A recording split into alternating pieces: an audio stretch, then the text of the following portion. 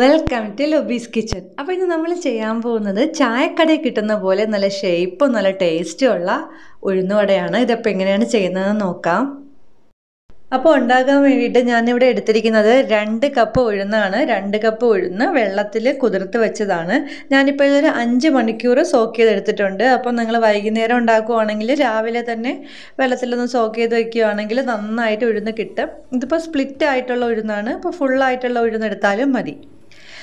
അപ്പോൾ ഞാനിതിപ്പോൾ ഒന്ന് അരച്ചെടുക്കാൻ പോവുകയാണ് അപ്പോൾ എല്ലാം കൂടി ഒരുമിച്ചിട്ട് അരയ്ക്കരുത് ഓരോ ബാച്ചായിട്ട് വേണം അരയ്ക്കാൻ. ഞാനിപ്പോൾ കുറച്ച് മാത്രം മിക്സിയുടെ പൊടിക്കുന്ന ജാറിലിട്ട് അരയ്ക്കുവാണ്. ഇപ്പോൾ ഞാനിതിൽ വെള്ളമൊന്നും ഒഴിക്കുന്നില്ല. ഒരു ഉഴുന്നിന്റെ നനവുണ്ട്. അപ്പോൾ വെള്ളമൊന്നും അര ഒഴിക്കാതെ തന്നെ അരച്ചെടുത്തതാണിത്.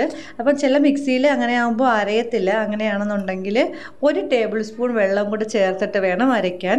ഒരു ടേബിൾ സ്പൂണോ അല്ലെങ്കിൽ ഒന്നര ടേബിൾ സ്പൂണോ അതിൽ കൂടുതൽ വെള്ളം ചേർക്കരുത്. ഉഴുന്നവിടെ ഉണ്ടാക്കുമ്പോൾ ഷേപ്പ് കിട്ടത്തില്ല.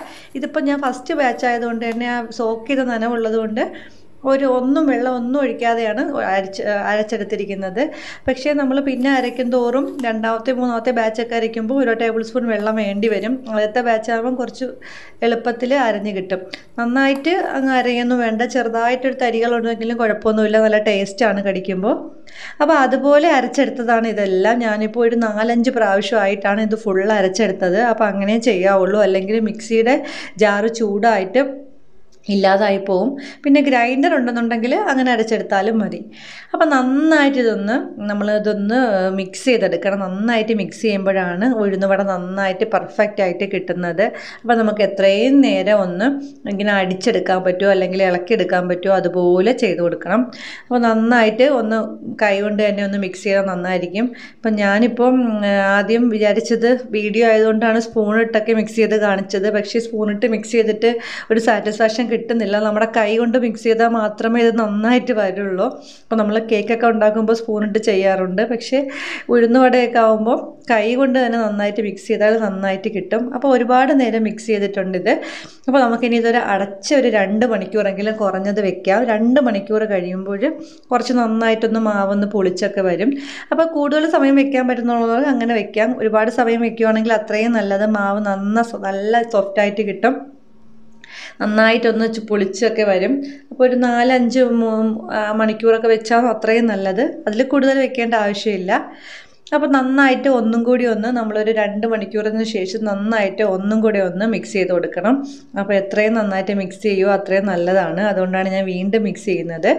ഇനി നമുക്ക് ഇത് ഉണ്ടാക്കാൻ നേരം മാത്രം നമുക്ക് ഇതിലേക്ക് ബാക്കിയുള്ള സാധനങ്ങൾ ചേർത്ത് കൊടുക്കാം. ഇപ്പം ഞാനിപ്പോൾ ആദ്യം ഉപ്പാണ് ചേർത്തത്. ആവശ്യത്തിനുള്ള ഉപ്പിട്ട് കൊടുക്കണം. അതിനുശേഷം സവാള കൊത്തി എരിഞ്ഞത്. ഞാനിപ്പോൾ ഇവിടെ ഒരു ചെറിയൊരു സവാളയാണ്. ഒരു ഫുൾ സവാള എടുത്തിട്ടുണ്ട്. ചെറുതാണ് കേട്ടോ. വലുതാണെങ്കിൽ പകുതി എടുത്താൽ മതി. ഏറ്റവും ചെറുതായിട്ട് കൊത്തി അരിഞ്ഞ് വേണം ചേർക്കാം. പിന്നെ ഒരു ഇഞ്ചി ഒരു വലിയ കഷ്ണം ഇഞ്ചി വളരെ ചെറുതായിട്ട് കൊത്തി അരിഞ്ഞതാണ്. അതും കൂടി ചേർത്തിട്ടുണ്ട്. പിന്നെ പച്ചമുളക് ഇട്ടിട്ടുണ്ട്. ഞാനിവിടെ ഒരു രണ്ട് പച്ചമുളകാണ് ചെറുതായിട്ട് അരിഞ്ഞിട്ടിരിക്കുന്നത്. എരിവ് വേണമെന്നുണ്ടെങ്കിൽ ഒരു മൂന്നെണ്ണമൊക്കെ ഇടാം. അപ്പോൾ എരിവിനനുസരിച്ച് പച്ചമുളക് കൂട്ടി കൊടുത്താൽ മതി. പിന്നെ കുരുമുളക് ഇതിപ്പം പൊടിച്ചെടുക്കരുത്. കുരുമുളക് ഒന്ന് തല്ലിയെടുത്താൽ മാത്രം മതി. ഒരുപാട് പൊടിയാത്ത രീതിയിലൊന്ന് തല്ലി നമ്മൾ കല്ലിൽ വെച്ചൊന്ന് തല്ലിയെടുത്താൽ മതി. പൊടിച്ച് ചേർക്കുവാണെങ്കിൽ വടയുടെ കളറൊക്കെ മാറിപ്പോവും. അപ്പോൾ തല്ലി മാത്രം ഇട്ടാൽ മതി. പിന്നെ ഒരു കാൽ ടീസ്പൂൺ കായപ്പൊടി. നല്ലൊരു ടേസ്റ്റ് കിട്ടാൻ വേണ്ടിയിട്ടാണ് കേട്ടോ കായപ്പൊടി ചേർക്കുന്നത്. അപ്പോൾ കായപ്പൊടി കാൽ ടീസ്പൂൺ കാൽ ടീസ്പൂണിൽ കുറവ് മതി. അതുകൂടെ ചേർത്തിട്ട് നന്നായിട്ട് മിക്സ് ചെയ്ത് കൊടുക്കുക. നേരത്തെ പറഞ്ഞതുപോലെ നേരത്തെ മിക്സ് ഇതൊന്നും ചേർത്ത് കൊടുക്കൽ നമ്മൾ എപ്പോഴാണ് ഉണ്ടാക്കാൻ പോകുന്നത് അതിന് തൊട്ട് മുമ്പായിട്ട് മാത്രമേ സവാളയും പച്ചമുളകൊക്കെ ചേർക്കാൻ പാടുള്ളൂ. അല്ലെങ്കിൽ അതിൽ നിന്നൊക്കെ വെള്ളം ഇറങ്ങിയിട്ട് മാവ് ഭയങ്കര ലൂസായി പോവും. ഇപ്പം നമ്മുടെ ആ ഒരു ഉഴുന്നുവടയുടെ ബാറ്റർ കറക്റ്റ് പരുവത്തിലാണ് കിട്ടിയിരിക്കുന്നത് കേട്ടോ. അപ്പം അപ്പോൾ ഇതെല്ലാം കൂടി ഞാൻ ഒന്നും കൂടി ഒന്ന് കൈ കൊണ്ട് മിക്സ് ചെയ്തിട്ടുണ്ട്. അപ്പം നോക്കിയപ്പോൾ ഉപ്പ് കുറവാണ്. അതുകൊണ്ട് ഞാൻ കുറച്ച് ഉപ്പ് കൂടെ ചേർത്ത് കൊടുക്കുവാണ്. ഉപ്പിന്റെ അളവൊക്കെ കറക്റ്റ് ആയാലേ വടയ്ക്ക് നല്ല ടേസ്റ്റ് ഉണ്ടാവുള്ളൂ. അപ്പം നിങ്ങൾ ഉണ്ടാക്കുന്നതിന് മുമ്പ് ഈ സവാളയൊക്കെ ചേർത്തതിന് ശേഷം ഒന്നും കൂടിയൊക്കെ ഒന്ന് ഉപ്പ് നോക്കുവാണെങ്കിൽ കറക്റ്റ് അളവ് അറിയാൻ പറ്റും. അപ്പോൾ ഉപ്പ് ഒന്നും കൂടെ ചേർത്തത് കൊണ്ട് തന്നെ ഞാൻ ഒന്നും കൂടെ മിക്സ് ചെയ്യുവാണ്. അപ്പം നന്നായിട്ട് ഉപ്പ് എല്ലായിടത്തും പിടിക്കണം. അതുപോലെ പച്ചമുളക് സവാളയൊക്കെ ഒന്ന് ആ ഒരു ടേസ്റ്റും കൂടെ മാവിലൊന്ന് പിടിക്കണം. അപ്പോൾ അതുവരെ ഉണ്ടെങ്കിൽ ഒന്ന് ഉപ്പ് നോക്കിയെടുക്കാം. അപ്പോൾ ഇതിന് ഇത്രയും മതി. നമുക്കിനി വട തയ്യാറാക്കാൻ വേണ്ടിയിട്ട് എങ്ങനെ ഷേപ്പ് ആക്കുന്നത് നോക്കാം. അതിനായിട്ട് രണ്ട് കൈയും ഇതുപോലെ വെള്ളത്തിൽ മുക്കിയെടുക്കണം. അതിനുശേഷം കുറച്ച് ബാറ്റർ എടുത്തതിന് ശേഷം ഇതുപോലെ ഒന്ന് ഉരുട്ടി കൊടുക്കണം. ഉരുട്ടി കൊടുത്തതിന് ശേഷം ഈ വിരലിട്ട് ഒന്ന് ഹോളാക്കണം അപ്പം ഈ വിരൽ ഒന്ന് വെള്ളത്തിൽ മുക്കിയിട്ടാണ് ഹോളാക്കുന്നതെങ്കിൽ നല്ല ഷേപ്പിൽ കിട്ടും. പിന്നെ നമ്മുടെ തള്ള വിരലിട്ട് ചെയ്യുന്നേക്കാളും ഈ ഒരു വിരലാകുമ്പോൾ നന്നായിട്ട് ഷേപ്പിൽ വടയുടെ ഷേപ്പ് നഷ്ടപ്പെടാതെ തന്നെ കിട്ടും. ഇനി ഇത് നല്ല ചൂടെണ്ണയിലേക്ക് അങ്ങ് ഇട്ട് കൊടുക്കണം. അപ്പം എണ്ണയിൽ ഇട്ട് കൊടുത്തതിന് ശേഷം സ്പൂൺ കൊണ്ട് ഇതിന്റെ പുറത്തേക്ക് കുറച്ച് ഓയിൽ ഇങ്ങനെ കോരി ഒഴിക്കണം. അങ്ങനെ ആകുമ്പോൾ വട നന്നായിട്ട് പൊങ്ങി വരും.